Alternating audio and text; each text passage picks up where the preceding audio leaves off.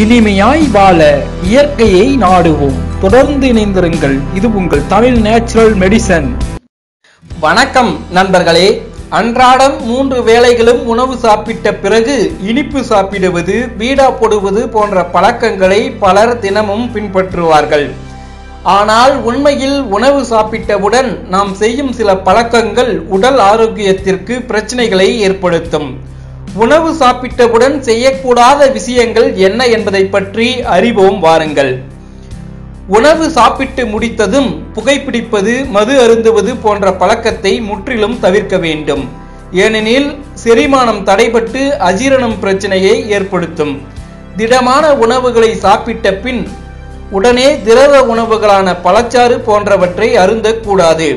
ஏனெனில் இது செரிமானத்தை தடுத்து வயிறு தொடர்பான பிரச்சனைகளை ஏற்படுத்தும். சாப்பிட்டு முடித்தவுடன் உறங்கக்கூடாது. இதனால் செரிமான பிரச்சனை ஏற்பட்டு அதிகப்படியான உடல் பருமன் பிரச்சனையை அது உண்டாக்கிவிடும். தினமும் உணவுக்கு பின் உடற்பயிற்சியில் ஈடுபடக்கூடாது. ஏனெனில் இதனால் வயிற்றுப்பிடிப்பு பிரச்சனை ஏற்பட அதிக வாய்ப்புகள் உள்ளது. உணவு சாப்பிட்டவுடன் குளிப்பதால் கை மற்றும் கால்களில் இரத்த ஓட்டம் வேகமாக இருக்கும்.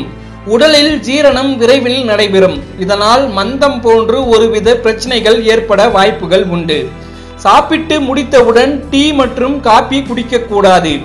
ஏனெனில் டீ காப்பியில் உள்ள ஆக்சலேட் மற்றும் பைலேட் நம் உடலில் ஏற்படும் அயன் அப்சார்ப்ஷனை சரியாக நடக்க விடாமல் தடுக்கும். இது போன்ற பயனுள்ள மருத்துவ குறிப்புகளை பெற்று பயன்பெற தொடர்ந்து இணைந்திருங்கள். இது உங்கள் தமிழ் நேச்சுரல் மெடிசன்.